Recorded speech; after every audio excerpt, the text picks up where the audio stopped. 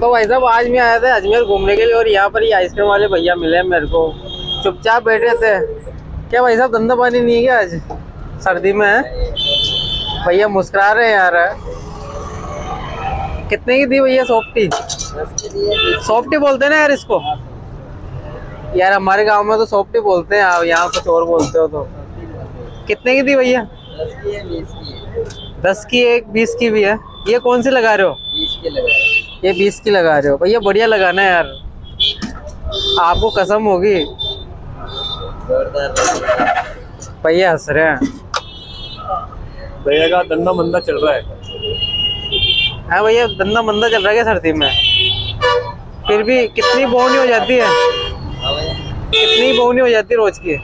हज़ार पंद्रह सौ। हो जाते हैं। अरे यार भैया आप हमसे ज़्यादा कमाते हो यार।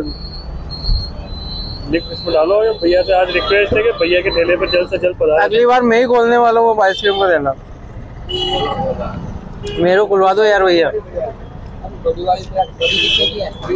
आइसक्रीम तो एक नंबर लगाइए भैया ऐसा लग रहा डबल देके जाना पड़ेगा पैसे। ये कितने का भैया? ये कितने का? ये चालीस का है। ये चालीस का। एक गिलास हमने ये भी लगाया चकले भी। मज़ा आ जाएगा गुरु। तो प्लीज़ इस चैनल को आप सब्सक्राइब कर दीजिए इस पेज को फॉलो कर लीजिए। एक नंबर लगाइए सॉफ्टी कमेंट करके बताइए कि आपने भी खाई है सॉफ्टी किसी गरीब का भला हो जाए सब चौपाटी पे है खाने के लिए।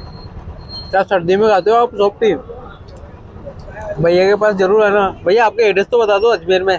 सागर चौपाटी बाटा शोरूम के पास रिंग रोड अजमेर? तो भाइयों ज़रूर आना आप यहाँ पर आओ तो चौपाटी के अंदर घूमने के लिए मैं आपको चौपाटी बता देता हूँ। ये चौपाटी है और चौपाटी के जस्ट सामने भैया तेला लगाते हैं। भैया नाम क्या आपका? मेरा नाम नरेंद्र सिंह तो भैया सुन लिया आपने। ज़रूर आके जाना एक नंबर सॉफ्टी बनाते हैं भैया। मज़ा आ गया भाई।